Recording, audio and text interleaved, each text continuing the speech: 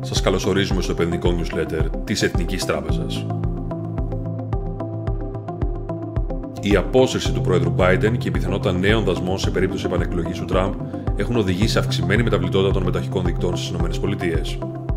Στην Ευρωζώνη, αμετάβλητη νομισματική πολιτική από την Ευρωπαϊκή Κεντρική Τράπεζα όπως αναμενόταν, έπειτα από τη μείωση των επιτοκίων αναφορά τον Ιούνιο για πρώτη φορά από το 2019.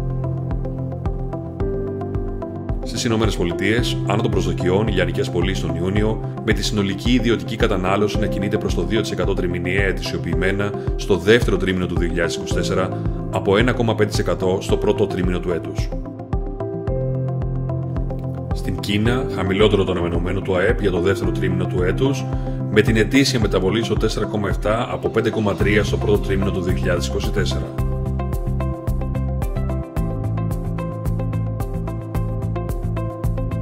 Χώρα μας, στο 1,3% του ΑΕΠ, το πρωτογενές πλεόνασμα του κρατικού προπολογισμού στο πρώτο εξάμεινο του 2024 0,8 δισεκατομμύρια υψηλότερα από το αντίστοιχο εξάμεινο του 2023. Την ίδια στιγμή, επιβράδυνση του κυκλού εργασιών των ελληνικών επιχειρήσεων στο 1,5% ετησίως τον Μάιο, λόγω αρνητικών εποχικών επιδράσεων παρά τη συνεχιζόμενη ενίσχυση του τουρισμού και της μεταποίησης. Στην εικόνα των χρηματιστηρίων, ο δείκτη S&P 500 βρίσκεται στο 16,2% από την αρχή της χρονιάς, ο δείκτης DAX στο 9,6% από την αρχή της χρονιάς, ο γενικός δείκτης του ελληνικού χρηματιστηρίου στο 12,7% και ο δείκτης Nikkei στο 19,9%. Συνεχίζοντας με την εικόνα των χρηματιστηρίων, αρνητικές πιέσεις στον κλάδο της τεχνολογίας λόγω της αυξανόμενης ρητορικής σχετικά με την επιβολή δασμών, με απώλειες για τις μετοχές υψηλής κεφαλαιοποίησης, αλλά και περιστροφή προς τις μετοχές μικρής κεφαλαιοποίησης.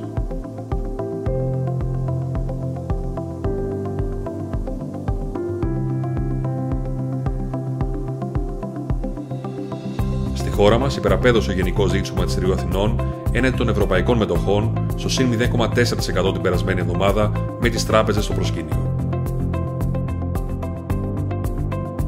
Στην εικόνα των κρατικών ομολόγων, ήπιες μεταβολές για τα επιτόκια των κρατικών ομολόγων, με τις αποφάσεις Ευρωπαϊκής Κεντρικής Τράπεζας να είναι οι αναμενόμενες και με τις προσδοκίες για την πορεία της νομισματικής πολιτικής να μην μεταβάλλονται.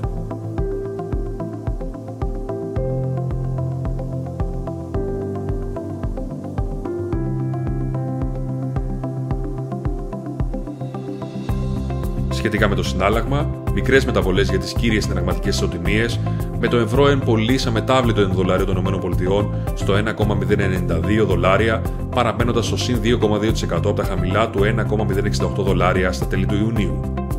Κλείνοντας με τα εμπορεύματα, υποχώρηση για τις τιμές των βιομηχανικών μετάλλων, χαλκός, αλουμίνιο, μόλιβδο, νικέλιο, κατά μείον 4,6% μεσοσταθμικά, εν μέσω και υποτονικών στοιχείων για την οικονομική δραστηριότητα στην Κίνα.